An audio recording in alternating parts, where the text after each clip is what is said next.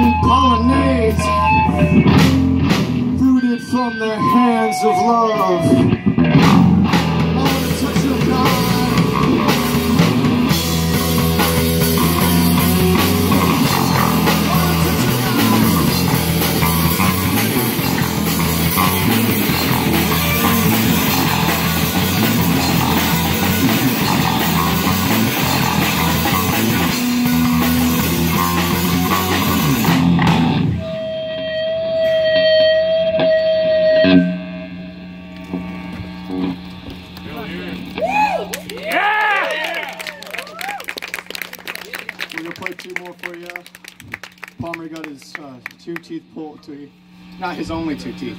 Damn! He had two teeth pulled two days ago. One tooth for each day. Is that a biblical? How's it feel?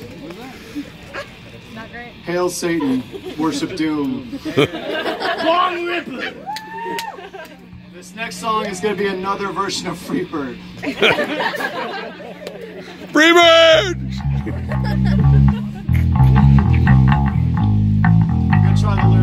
One for the first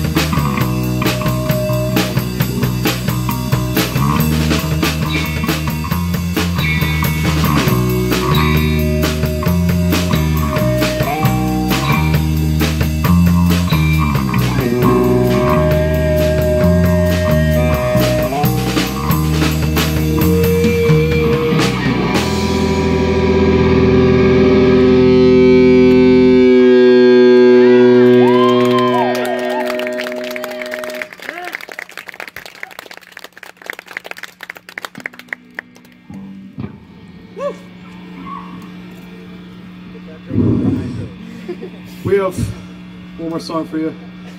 Hey everybody, what's up? Um, after us is Moon Goons. Stick around. They came from Indianapolis. They're cool people. We're recording with Corey. Raise your hand, Corey. Did you go to Ball State, Corey? I did. He went to Ball State for what, Corey? The recording. And guess what he's doing? Recording. He's recording us. So, you know, uh, and just, you know, if you want to chat with us afterwards, um,